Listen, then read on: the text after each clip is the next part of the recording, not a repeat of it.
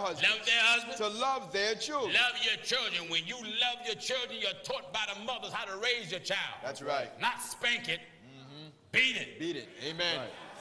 That's right. Word of God said, beat the child. That's That's right. right. Society says spank it. Spank it. Amen. Put it in the corner and give it time out. Amen. Today, the young girls that's having all these babies don't even want to discipline them. That's No. right. Don't want to discipline them at all. That's right. This is why society now is crumbling. Churches are not helping you, they're just as bad as society themselves. Amen. Listen, To be discreet, be discreet, chase. chase, clean. That's right. Clean. You want to be discreet, you don't want to be no forward woman. Amen. You want to be chaste, clean, keep your body physically clean. That's right. Also, keep your mind clean. Amen. Mm-hmm. Keepers at home. Know how to keep the house. That's right. The young, the mothers should be teaching their daughters how to be clean.